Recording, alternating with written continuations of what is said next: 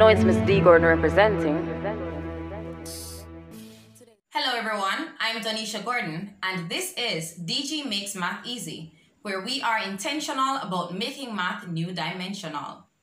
Today we'll be looking at the topic surds.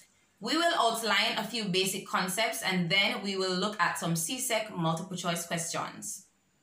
Please remember to like and share this video. Also, don't forget to subscribe and if you have already done that, then click the notification bell so that you do not miss any of our next videos. Feel free to say in the comments which topics you would like to see being reviewed. As you know, keep looking to the left side of your screen as there will be some important points as we work through our questions. For our first question, we are being asked to simplify this expression. Root 2 plus 3 root 2 minus 4 root 2 minus 2 root 2. The first thing that we notice is that all of these are what we call like surds. I'm sure you've heard the term like terms or unlike terms. So in the same way, we have like surds and unlike surds. Now these are all like surds because they all have the same radicand. That is, they have the same number under the root sign. They are also of the same root. So all of these terms have the square root of 2. So the same principle applies as when it comes to simplifying like terms. So the only thing we're interested in is the coefficient for each term. All right, so here we go. The coefficient here is 1, 3, negative 4, negative 2. And so I'm going to operate on those.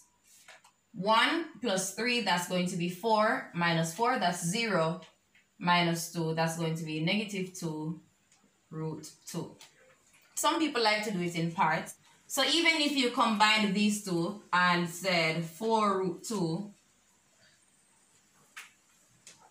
minus 6 root 2, it would still have taken us to negative 2 root 2. In this question, simplify root 28 minus root 63 plus root 112 minus root 175. Now there is a law that we must know when we are dealing with roots. The root of a product is the product of the roots. So for example, root 28 could be expressed as root 2 times root 14. As long as you know two factors of 28, then you can express root 28 as the product of two roots. Or root 28 is equal to root 7 times root 4. We are going to apply that principle to these roots that we have in this question. Now, our first question had like surds, and so it was very easy to simplify. For this expression, we are going to make it easier on ourselves, and so we are going to create some like surds. I'll give you five seconds to tell me a common factor for 28, 63, 112, and 175. What number divides exactly into 28, 63, 112, 175? You can use the rules of divisibility to know what numbers go into these numbers without leaving a remainder. The common factor for 28, 63, 112, and 175 is 7. So we have a common factor of 7. And so a common factor of root 28, root 63, root 112, and root 175 is going to be not 7, but root 7. So let's go right ahead and express each of these as products of root 7. So this is going to be root 4 times root 7 minus root 9 times root 7 plus root 16 times root 7 minus root 25 times root 7. Now, what is it that you notice about the coefficient of root 7? We have square root 4, square root 9, square root 16, square root 25. 4, 9, 16, and 25 are what we call square numbers. And so we can go ahead to further simplify by finding the square root of each of these numbers. The square root of 4 is 2, so that's 2 root 7. Square root of 9, 3 root 7, plus 4 root 7, minus 5 root 7. And since we have all of them expressed as like surds, then we can go ahead and operate on the coefficients.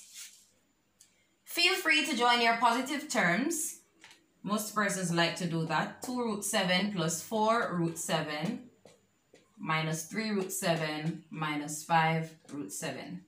That's fine. 2 plus 4 gives us 6 root 7. Minus 3 minus 5 gives us minus 8 root 7.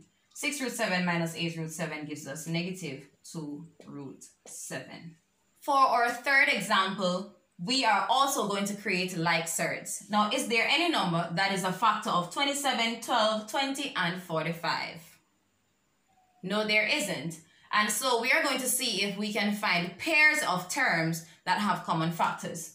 In other words, is there a common factor of, let's say, 27 and 12? Is there a common factor of 20 and 45? A common factor of 27 and 12 is 3. And so we can express both of these as products of root 3. And so this will be root 9 root 3 minus root 4 root 3. And so we can express these as products of root 5.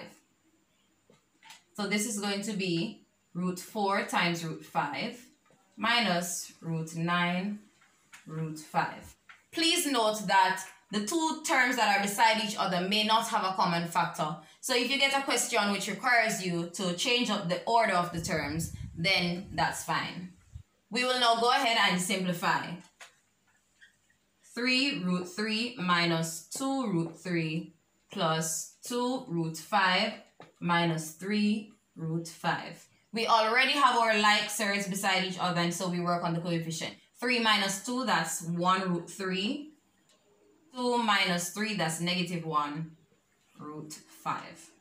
And so our final answer is root 3 root 5. For this question, we will be applying the rule that we recalled earlier about the product of two roots. Both roots in this case have coefficients, and so we are going to work on those whole numbers first. 5 times 2 gives us 10. And now we multiply those roots as long as they are like roots.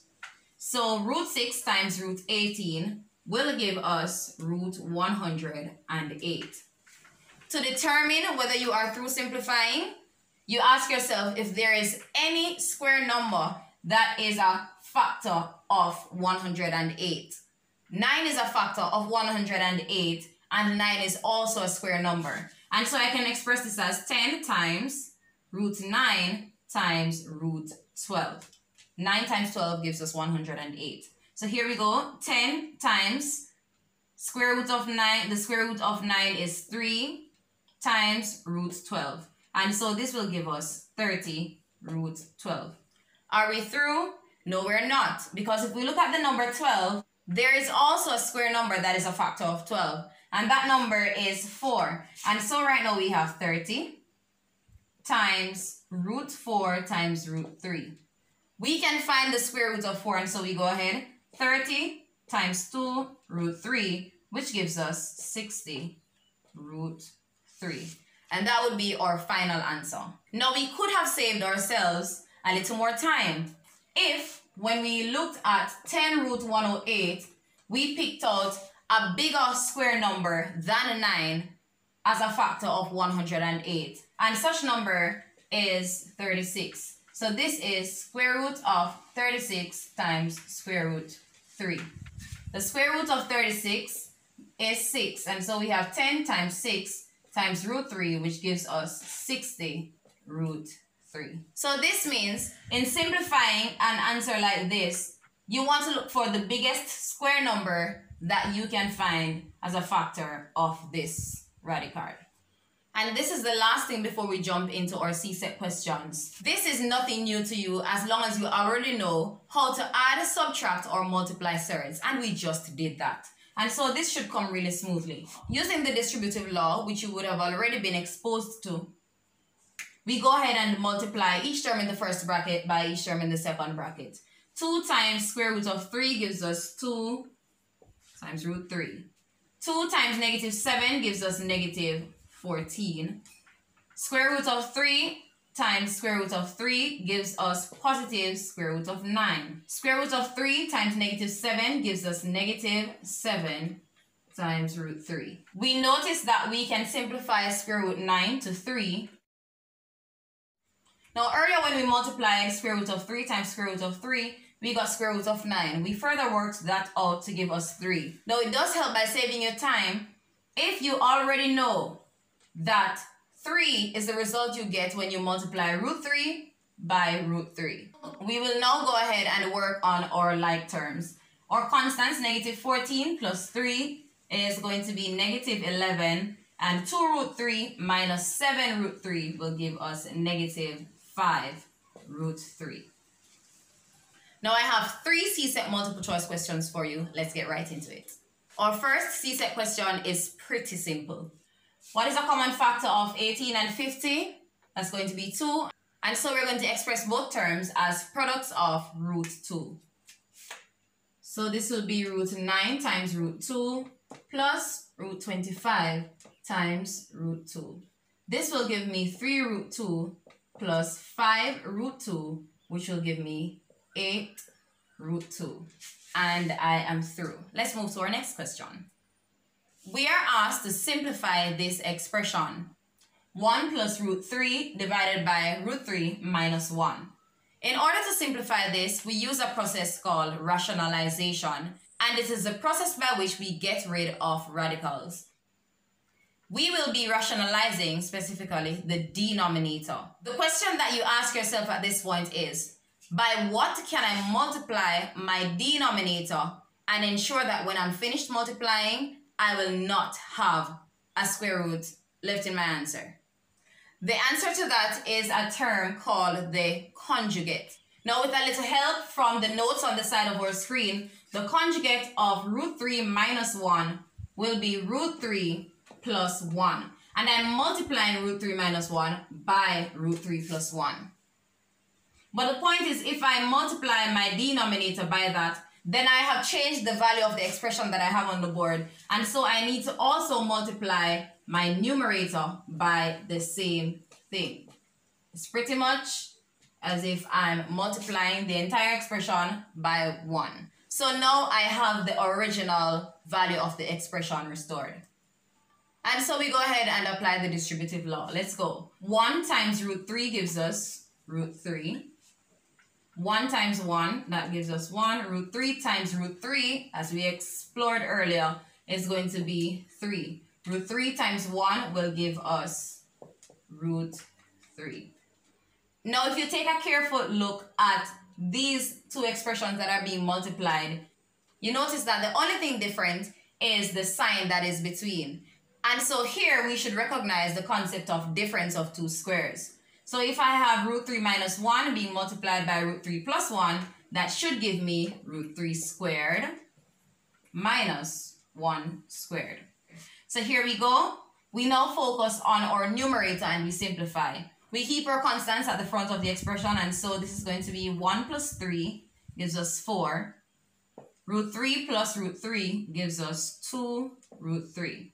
And this is being divided by root 3 squared is going to be 3 minus 1 squared, which is 1.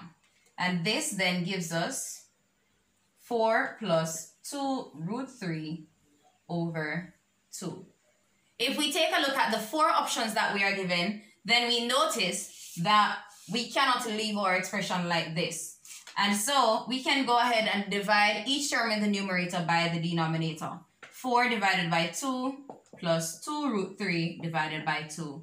2 into 4 goes 2 times plus root 3. Our next example should get you a little more comfortable. Similarly, we are going to be simplifying by rationalizing our denominator. We will multiply our denominator by its conjugate, which is 1 minus root 5. If I do that to my denominator, then I need to also do it to my numerator. This will be root 5 minus root 5 times root 5, which will give us just 5. Negative 1 times 1, negative 1, negative 1 times negative root 5 is going to be positive root 5. And that is going to be divided by 1 squared minus root 5 all squared, which is 5. So you can choose if you just want to write 5 there right about now. Equals, we work on our constants. Negative 5 minus 1 gives us negative 6. Root 5 plus root 5 gives us 2 root 5. This is being divided by 1 minus 5 is negative 4. Now we're going to also simplify by dividing each term in the numerator by our denominator. 3 over 2 minus root 5 over 2. None of our answers look like this. Based on the fact that our denominator for both terms is 2, then we can go ahead and factor out a half out of each term. If we factor out a half out of 3 over 2, we get 3, minus factoring out a half out of root 5 over 2 gives us root 5. And that is our last question. Please let me know in the comments if this video was helpful to you. It's goodbye from DG Makes Math Easy and I am Donisha Gordon.